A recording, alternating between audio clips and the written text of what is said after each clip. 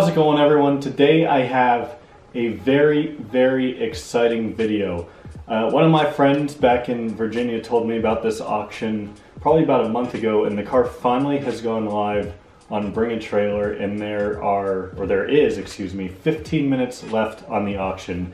The car in question, as you can tell from the title, is a 2008 Saab 9-3 Turbo X 6-speed, very much like the one right behind me right here, but it only has 10,000 or it has less than 10,000 miles on it. As always, if you enjoy this video, make sure to give it a thumbs up and subscribe if you haven't already. A basic little backstory on the Turbo X. Of course, it was a one-year limited run car from Saab, 2.8 V6, uh, 280 horsepower, 295 foot-pounds of torque stock.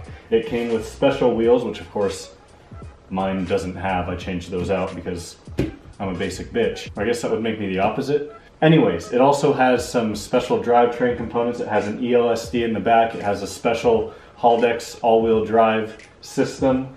Um, it's got unique bumpers, it's got a unique front lip, it's got carbon fiber trim, unique steering wheel, uh, just a whole bunch of stuff that's unique to this car specifically.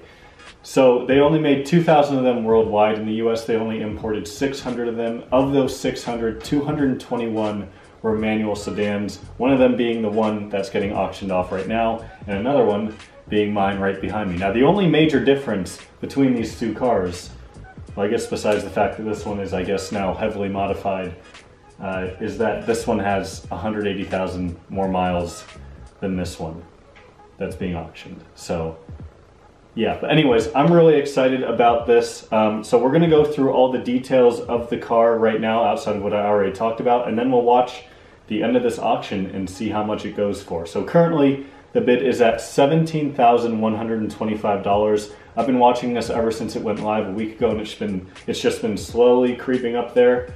Uh, so I don't know. We'll see how much it goes for. I'm hoping, or I'm thinking somewhere in the 25 range. So here's the car in question. Pretty much, you know, less than 10,000 miles. It has two owners, from what I was reading, and it was with the original owner until less than a year ago when uh, the current owner bought it and I guess fixed it up a little bit and is now auctioning it. And one of the questionable things that I saw people were talking about on the uh, the Facebook groups when this got posted initially was that it is actually repainted. So a lot of people were saying that this was that it being repainted hurts the value of the car. Now, unless the paint was really destroyed beforehand, which I would find that hard to believe on such a low mileage car that's probably been sitting in the garage for 99.9% of its life. So I'm not really sure why the uh, current owner decided to repaint it, but I could see an argument where that could hurt the value. But nonetheless, a repaint means fresh new paint. So all things considered, I don't think it would hurt the value a ton. It's not like the Turbo X was in some super special, unique color. It did only come in this black, but it's not like this specific black was only unique to the Turbo X. So here's the photos of the car. I mean, from everything I can see, it seems to be in perfect condition. I mean, it's less than 10,000 miles, less than 10,000 miles. It's from New Mexico, so I'd assume that means zero rust. Lots of uh, exterior pictures. That's pretty cool next to the jet. Don't see any rock chips or anything. I mean, it looks, I'm sure the paint job is pretty much brand new, so it's in fantastic shape.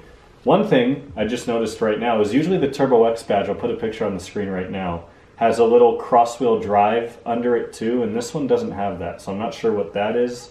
Maybe that, because it got removed when it was repainted, I'm guessing, maybe they didn't put that back on for some reason, but there should be a little cross-wheel drive badge uh, with that Turbo X badge on there just overall really nice condition car. And I, I was just up at, not to go off on a tangent here, but I was just up at South Mountain a couple days ago. You guys will see a video on that soon, or it might already be out. I don't know when I'm uploading these. But just the sunset reflecting off of the color on this car, you can see it in this picture right here. It's just absolutely, it just, oh, it looks so good.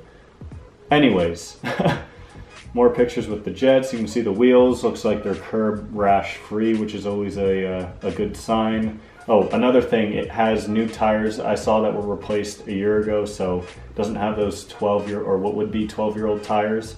Pirelli P Zero Nero, so that's pretty good tire to say the least. Some interior shots. Absolutely gorgeous shape. I mean, zero wear on any of the interior as you would expect. It has OEM nav. This car I added navigation to, but this to have it from factory and to also be a manual, that's pretty freaking cool. 9,581 miles.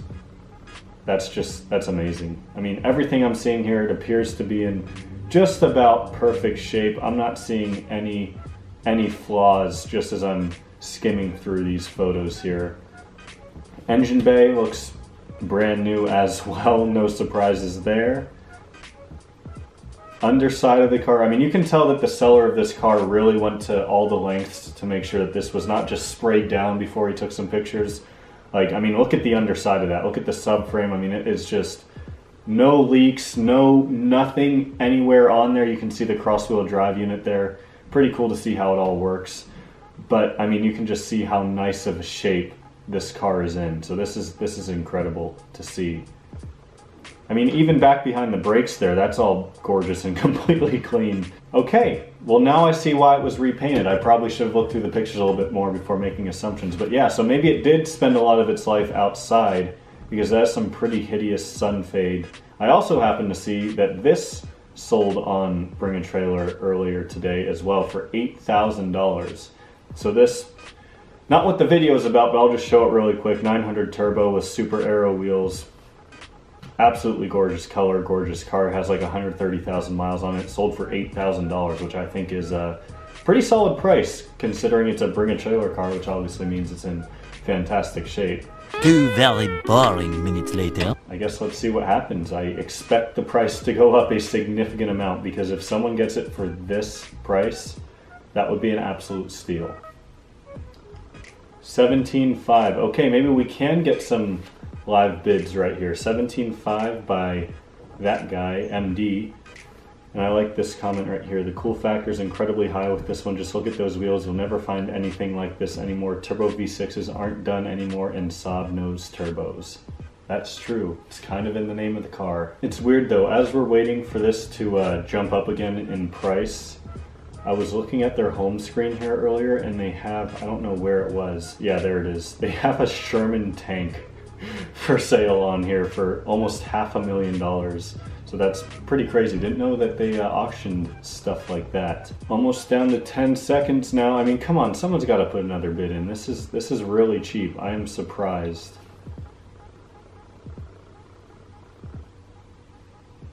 Okay, whoa. It went from 17.5 to 23.575. Wow, he jumped up $6,075. Hauser said, I don't want to, yeah, exactly, boom. He didn't want to deal with the bidding war, and he had to do it with like three seconds left too. Like that guy almost thought he got it for 17,000, which was a steal. What a savage. Mad respect to Hauser for that, whoever you are. 10 seconds again. five.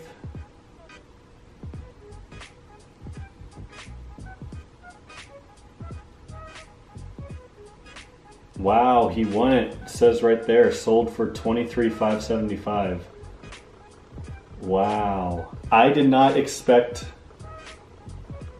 as my computer just restarted itself. So my computer froze and restarted right after I uh, filmed that very last section that you just saw, and the screen recording stopped right at two seconds left on the auction, but it sold uh, for 23,575. So in the end, I was hoping to see this car go for 25, like I kind of said in the beginning, but I, I guess not. 23,575, that's still a solid number though.